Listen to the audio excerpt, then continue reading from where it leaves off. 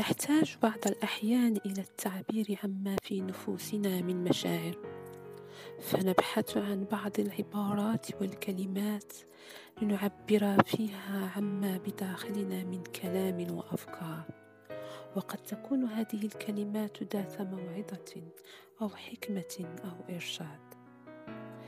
قد تخفي الثياب الجميلة حقيقة الإنسان لكن الكلمات الحمقاء سوف تكشفه بسهولة.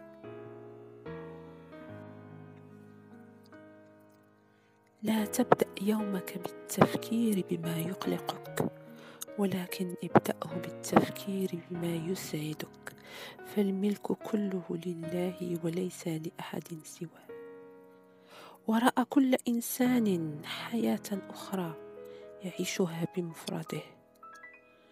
ولا يعلمها إلا الخالق سبحانه.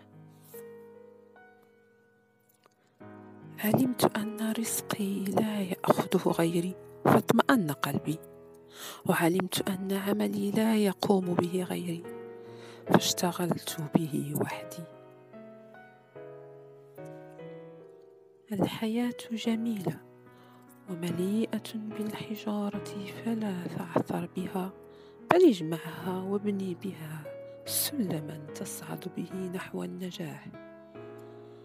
عجبت لمن يغسل وجهه مرات عديدة في اليوم ولا يغسل قلبه ولو مرة واحدة في السنة. الدهر يومان يوم لك ويوم عليك.